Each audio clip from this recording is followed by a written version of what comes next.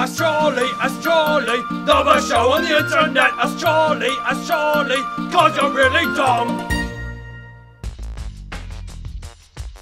Oh there, folks. Just taking a day off from the grind to answer all your bad-ass questions. Let's do it. Aki 3 Vinix Diaz.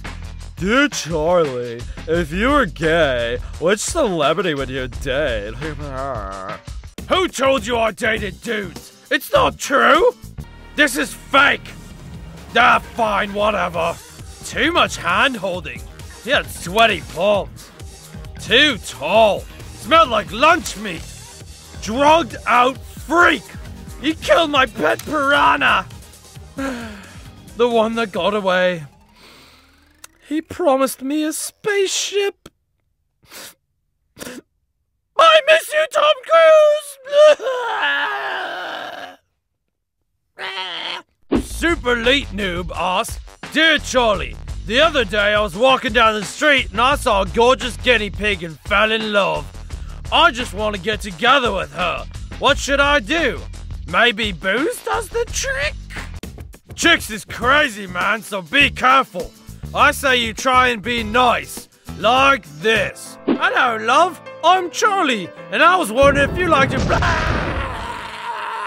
I guess you're right, mate. Get drunk first, and it might hurt less. Bomb Tim Company asks, Dear Charlie, why are you so angry because you question mark scary so scary? What the f? I'm not that angry, am I? Hey, you little shithead, it's me, Tom Cruise. I just wanted to ask you to please stop calling me gay and saying that we dated. Because I'm not gay. I have a wife, I have a kid, and it really hurts when people lie about me.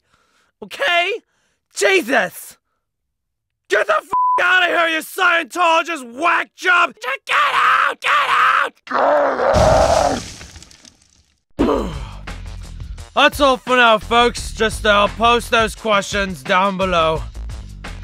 My name is Charlie, and I have an anger problem. To see a bonus question that was too crazy to put in this video, click the link in the description below. Not Lock 24 asks, Dear Charlie, my dick won't fit in this hot dog bun. What? What? What should I do?